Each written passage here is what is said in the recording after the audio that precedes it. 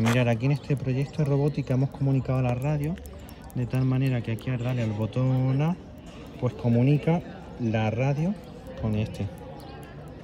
¿Lo veis? Cuando se presiona el botón A envía una señal. Aquí hemos estado probando el alcance en línea recta sin interferencia y salían unos 5 sobre 60 metros aproximadamente.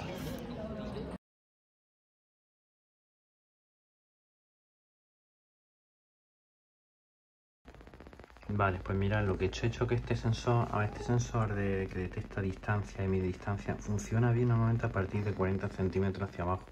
Por encima suele dar lecturas que no son muy buenas, no muy precisas. ¿vale? Le está dando en centímetros la distancia, ¿vale? 176 eh, eh, centímetros, ¿vale?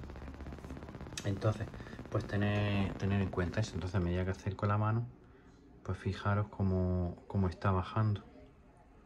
Entonces, mira, me empiezo a acercar esta prueba y que cuando baje de 10 se active este servomotor que ya buscaría yo por ponerle por mecanismo un engranaje que cierre, abra una puerta y cuando pasen 5 segundos la cierre y cuando detecta que está a menos de 10 segundos pues que pite también, ¿lo veis? Entonces me alejo, fijaros 175, no hace nada. Cuando detecta algo por debajo de 10, ¿lo veis? Lo muestra en pantalla 9, gira, pasan 5 segundos y vuelve a cerrar. Entonces, utilidades, pues muchas, conectarlo con un mecanismo que accione algún, algún dispositivo mecánico, alguna puerta, un pulsador, ¿vale? no sé qué, par tendrá este, este motor para accionar algo que tenga cierta resistencia mecánica, ¿vale?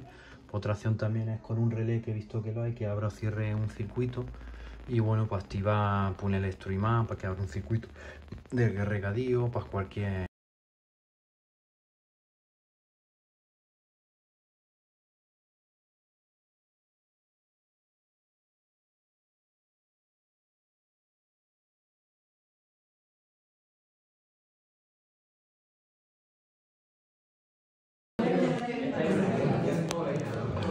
este se pone rojo, el otro empieza verde.